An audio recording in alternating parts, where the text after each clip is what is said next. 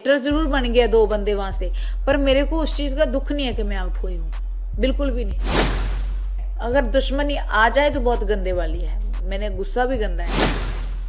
मुझे पोक किया गया है, बहुत ज़्यादा किया गया। वो लोगों को दिखता है कि मैं जैसी कंडीशन में थी, उन लोगों ने ज़रा नहीं सोचा कि ये ठीक नहीं है। तो मैंने शमिता आंटी को ये भी बोला था कि तुम मेरे आने पे तो खुश नहीं थी कि अफसाना इस घर में आए कि वो रौला डालती है पर अब तेरा भाई आया अब तेरी ज़ुबान कहाँ गई अब तो तूने किसी को बोला नहीं कि ये शो डालता है सोने नहीं देता ये करता है। सिम्बा को मैंने कुछ नहीं बोला। सिम्बा वैसे चिट्ठियाँ लिख लिख लेटर बदतमीज इंसान जो मुँह से नहीं बोल सकता वो चिट्ठी में वो कैसा इंसान है बिग बॉस के घर में चिट्ठियाँ लिख के प्रूफ कर रहा है कि अफसाना ऐसी है ऐसी है। मैंने उसको कुछ भी नहीं बोला। मतलब वैसे ही लोग कुछ भी करने के लिए तैयार है। तो पर मैं उनके लिए चेंज नहीं होने वाली, अफसाना ऐसी स्ट्रॉन्ग ऐसी सच बोलने वाली, ऐसी दिखेगी हमेशा आपको हंसाने वाली और गाने वाली। मैंने बिग बॉस से जिस दिन घर से बाहर निकल रही थी, मेरी भैंस चार पाँच घंटे अंदर चली कन्फेशन रूम में, जो टीवी में नहीं दिखा मैंने बोला, सच के लिए मुझे, मैं इससे अच्छा कत्ल कर देती तो ठीक रहती। इंसानियत ही उस अंदर उस शो में जाके मर गई लोगों की सबकी सब मतलब के रिश्ते बना रहे हैं। कोई भाई बहन का बना रहा है कोई यारी दोस्ती का बना रहा है कोई। मैं अकेली थी अकेली रहूँगी मुझे किसी के साथ कोई रिश्ता नहीं बनाना था। जो बाहर आके निभाना चाहेगा वो निभाएगा नहीं निभाना चाहेगा तो इट्स ओके लाइफ तो चल ही रही है। जो भी हुआ नाइफ वाला वो गलत हुआ। प्रतीक ने भी मिरर तोड़ा था ठीक है? बाथरूम भी खोला था। अभी निशांत को धक्का मारा, इसने, नेहा ने कल, और चीज़ें भी तोड़ी है। किसी को बाहर नहीं निकाला जा रहा है। क्यों? सीजर लेके आई थी, शमिता शेट्टी, आंटी इतने बंदे, दस बंदे, एक बंदे के ऊपर लेटे हुए हैं, और किसी की भी उंगली कट सकती थी। इसका क्या था? वो तो कट के चली गई। उस पर तो किसी ने ध्यान नहीं दिया, उसको तो किसी ने आउट नहीं किया। शादी हम प्लान कर रहे हैं फेब में। करण भी मेरी शादी में भंगड़ा डालना चाहता था और उमर भी सब आना चाहते हैं, जितने जितने भी थे। डोनल बिस्ट मेरी अच्छी दोस्त बन चुकी है। फिर सब हम इकट्ठे होंगे तो एंजॉय करेंगे। सब उनकी वेट के कारण मैं शादी डिले की है। Hi Afsana how you I am good you say okay पहली बार बहुत अच्छा लग रहा है आपको देख के। uh, हमने आप में बहुत ड्रास्टिक इम्प्रूवमेंट uh, देखा है नॉट जस्ट पर्सनालिटी वाइज आप स्टार्टिंग uh, में थोड़ा इतना खुल रहे नहीं थे but by the end of the show you were so amazing, so outspoken, so uh, yourself, you know, like fearless completely. That was really amazing and also uh, एक body uh, transformation भी आया हुआ है कि you you know, आप इतने और भी सुंदर लग रहे हो अभी इतना वेट लूज किया आपने what do you say thank you so much इतने अच्छे कॉम्प्लीमेंट देने के लिए और मैं बिग um, बॉस uh, में वर्कआउट बहुत किया तो मेरा, ऐसे जैसे फ्री होते थे टास्क होते थे, मुझे ऐसा था कि वर्कआउट करना है। टास्क होने के बावजूद भी मुझे इतनी प्यारी डेडिकेशन लगी है ना। मैं जैसे आज भी चंडीगढ़ पहुंचूँगी ना, चाहे रात के 11 बजे, मैंने वर्कआउट करना ही है, मेरे घर पे ही है। तो मैं खुश हूँ कि मेरी शादी होनी और पतली होना और मैंने बिग बॉस को बोलती रहती थी कैमरे के आगे कि कुछ बनूँ चाहे ना बनूँ बिग बॉस ही पर आ, सब बोलेंगे कि मोटी आई थी पतली होके निकली है। सो मैं वो कोशिश में थी और आ, वो कोशिश मेरी कोई बात नहीं बीच में थोड़ी कम रहेगी या आउट होगी हूँ पहले। पर जितना भी मैं थ्री वीक्स में कर पाई हूँ पर आपने मुझे पहले देखा था और अभी देख रहे हो तो बहुत फ़र्क है। तो सब बोल रहे हैं तो थैंक यू वजह कोई फिटनेस इंस्पिरेशन था घर में?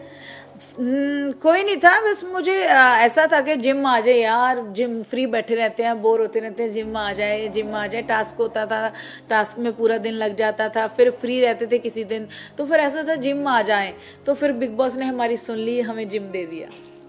आपने ये एक चीज़ मेंशन किया कि बिग बॉस के घर में जाते ही आपको आपने बोला कि आपका सपना पूरा हो गया। हाँ. तो ओवरऑल आपका एक्सपीरियंस ये once in life time experience होता है बिग बॉस तो overall what do you say कैसा था सपना मैंने वही वही सच बात बोली है कि मेरा सपना पूरा हो चुका है। मुझे मैंने पहले ही बोला था कि मुझे विनर नहीं बनना इस शो का।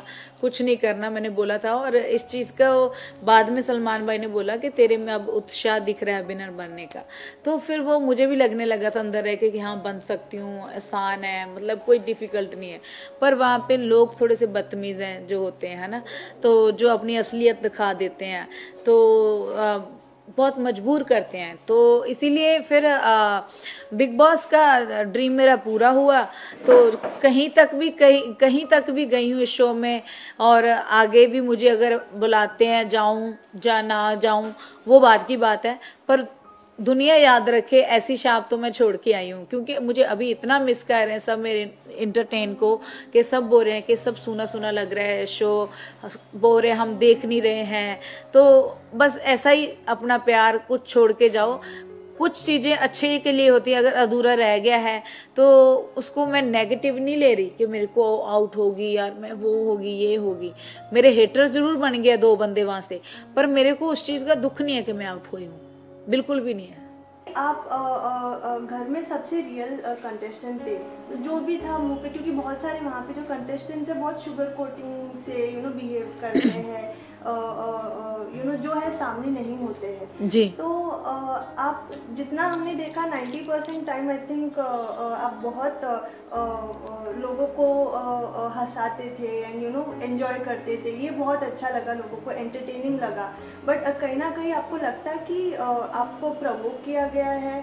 आ, मैं नेचुरल हूँ। मैं घर में भी बाहर में भी मैं स्टेज पे भी होती हूँ। मैं अपने फैंस के साथ भी मैं ऐसे ही घुल मिल जाती हूँ। मेरा नेचर मैंने भाई ने भी बोला था कि मैं सबको अपना ही बनाऊँगी। कोई बने या ना बने, वो अलग बात है, पर मेरी पहल यही है कि मेरा नेचर में है कि दुश्मनी नहीं है। अगर दुश्मनी आ जाए तो बहुत गंदे वाली है। मैंने गुस्सा भी गंदा है। तो ये चीज़ें आप एंट्री में देखोगे भाई ये चीज़ें सच हुई है। मैंने बोला था कि मैं सोती भी हूँ तो और सोने पहनना का भी शौक है। और अगर उन्होंने बोला कुछ ऐसा कुछ हुआ, गुस्सा तो मैं क्या गुस्सा मेरे पे पहली बात तो आता नहीं है।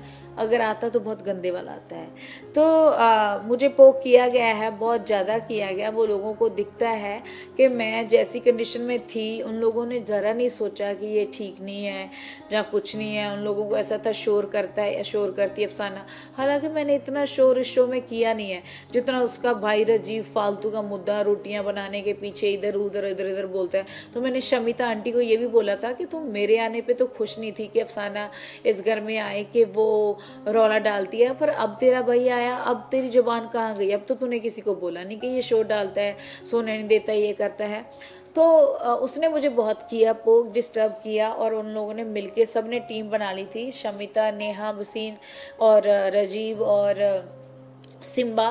तो सारे ऐसे, सिम्बा को मैंने कुछ नहीं बोला, सिम्बा वैसे चिट्ठियाँ लिख लिख लेटर बदतमीज इंसान, जो मुँह से नहीं बोल सकता, वो चिट्ठी में, वो कैसा इंसान है बिग बॉस के घर में चिट्ठियाँ लिख के प्रूफ कर रहा है कि अफसाना ऐसी है ऐसी है। मैंने उसको कुछ भी नहीं बोला। मतलब वैसे ही लोग कुछ भी करने के लिए तैयार है। तो पर मैं उनके लिए चेंज नहीं होने वाली, अफसाना ऐसी स्ट्रॉन्ग ऐसी सच बोलने वाली, ऐसी दिखेगी हमेशा आपको हंसाने वाली और गाने वाली। आपका जो फैसला ये लिया गया है कि एंड वो भी एक वो चाकू के इसमें विच एक यू नो आपका ये इंटेंशन थोड़ी कुछ था कि यू नो आप किसी को हर्ट करें you know you just held the knife and ये जो एविक्शन था, ये काफ़ी सडन एंड शॉकिंग था. एंड सपोर्ट में आपके लिए बहुत सारे लोग आए. तो इसके बारे में आपको क्या लगता है कि ये एविक्शन सही था? गलत हुआ गलत हुआ. मैंने मैंने बिग बॉस से जिस दिन घर से बाहर निकल रही थी, मेरी बहस चार पाँच घंटे अंदर चली कन्फेशन रूम में, जो टीवी में नहीं दिखाई। हालाँकि एंड में मेरे फ्योंसे के साथ बात कराई, उन्होंने बोला, बेबी गेम है। तुम आ जाओ। I love you so much और मैं उस टाइम फटक से बाहर आ गई। अदरवाइज़ मुझे इतना उन्होंने बोला कि ये हो जाएगा, वो हो जाएगा। आप जाओ, आपको चरा उठा के लेके जाएँगे, ये करके जाएँगे। मैंने बोला, सच के लिए मुझे, मैं इससे अच्छा कत्ल कर देती तो ठीक रहती। फिर तो मैं मानती कि मुझे बाहर निकाला जाता है। मैंने तो कुछ किए ही नहीं। इससे बड़ी बड़ी बातें तो होगी, है। उमर को पानी में फेंका, उसका मुद्दा कहाँ गया? सिम्बा घर पे है। कुछ कर नहीं रहा एंटरटेन नहीं कर रहा, खा रहा, सो रहा है, क्योंकि वो किसी को पसंद आ रहा है। वो किसी को पसंद आ रहा है उसी वजह से अंदर जा रहा है। ठीक है? उसकी बोल रहे फ़ैन फॉलोइंग यहाँ जा रही है। कहाँ जा रही है? कोई नहीं लाइक कर रहा सिम्बा सिम्बा तो म्याऊ है। वो सच में म्याऊ उसको बोलने के लिए बोला बोल बोल बोल। सिम्बा क्या बोला? बोला तो उसने चिट्ठी लिखी मेरे बारे में। बदतमीज इंसान ने। उसको ये नहीं पता सही कौन है गलत कौन है। अभी भी जितने कुकड़ों को बचते उस घर में उस, उसकी वजह में बचते मैं तो मेडिसिन खाती थी। मैं तो उठती थी। मेरे को एक घंटा एक्स्ट्रा मैं सो जाती थी मॉर्निंग तो मेरे को पता था कि मेरी मेडिसिन नशे वाली होती थी। तो दूसरी बात ये कि उन लोगों ने ज़रा भी किसी ने सोचा नहीं। इंसानियत ही अंदर उस शो में जाके मर गई लोगों की, सबकी, कि यार वो बीमार है, बीमार होके इस शो को सरवाइव कर रही है, खेल रही है, हिसा रही है लोगों को। वो नहीं किसी ने सोचा। इस, इसमें देखता है कि कौन कितना मतलब है। सब मतलब के रिश्ते बना रहे हैं। कोई भाई बहन का बना रहा है, कोई यारी दोस्ती का बना रहा है, कोई। मैं अकेली थी, अकेली रहूँगी। मुझे किसी के साथ कोई रिश्ता नहीं बनाना था। जो बाहर आके निभाना चाहेगा, वो निभाएगा, नहीं निभाना चाहेगा तो इट्स ओके लाइफ तो चल ही रही है। किसी के लिए नहीं रुकती। और जो भी हुआ नाइफ वाला वो गलत हुआ। प्रतीक ने भी मिरर तोड़ा था ठीक है?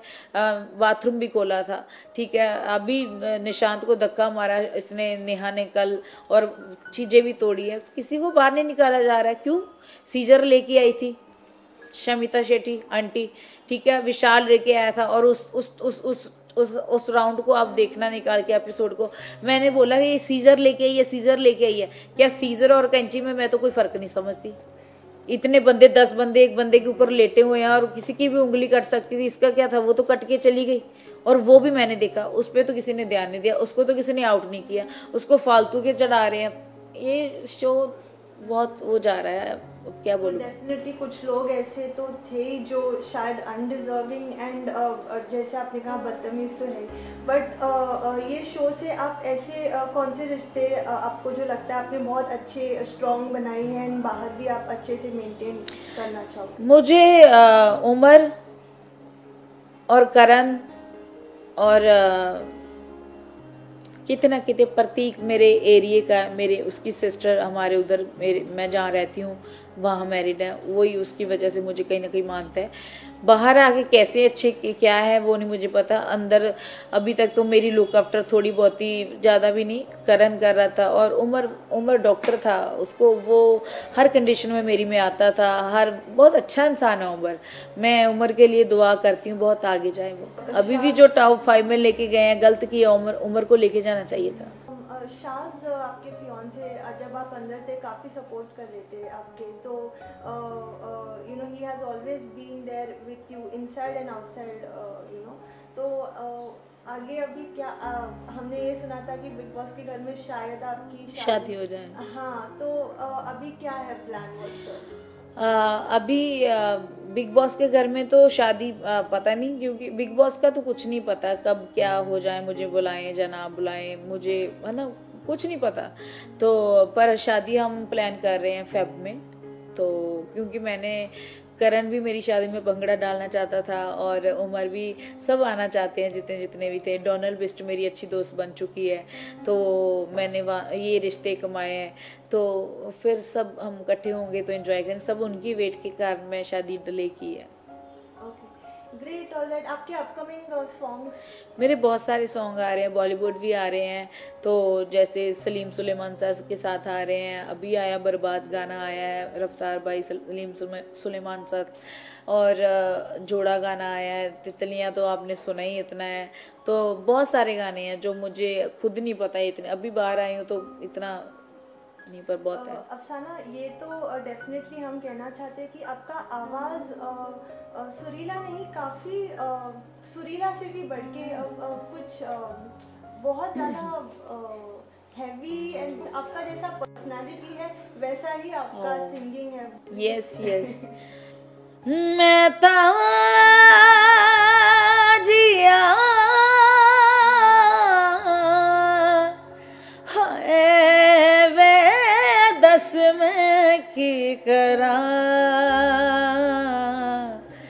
पता नहीं जी कौन सा नशा करता है, यार मेरा हर एक से वफा करता है।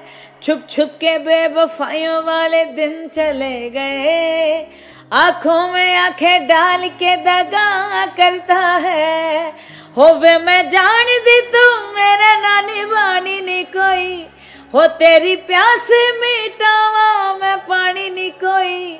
वे मेरे सामने ही ताड़ दाए होर कुड़िया। हाय अगला के शर्म दा पर्दा कदी इस फुलते कदी उस फुलते यार मेरा तितलिया वर्गा। यार मेरा तितलियाँ वर्गा।